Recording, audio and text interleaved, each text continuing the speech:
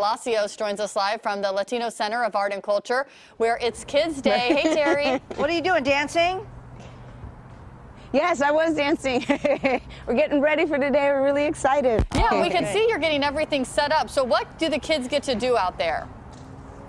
Oh, there's going to be tons of activities for them to do. We've got art projects for them to do. We're going to be making slime.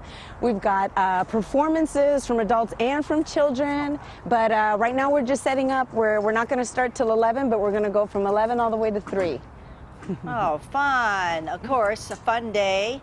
And uh, yes. I know there's a whole bunch of people expect, expected to show up, right?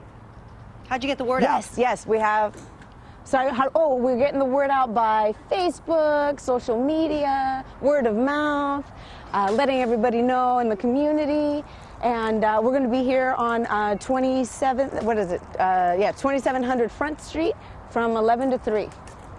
Very good, very good. Now, is it free to get in? Sorry, I can't hear you. Oh, no problem. Is it free to get in? Yes, yes, it's free to get in. All the activities are free. The performances are free. Um, you know, for everybody to watch. We're gonna have food. We've got the River Cats coming in. Estrella TV. You guys are here. Um, SMUD's here, sponsored by. You know, they sponsored. Um, it's it's gonna be a great event. free for uh, kids and and adults. Okay, love it, Terri. Thank you so much. Happening at 11 o'clock, 2700 Front Street.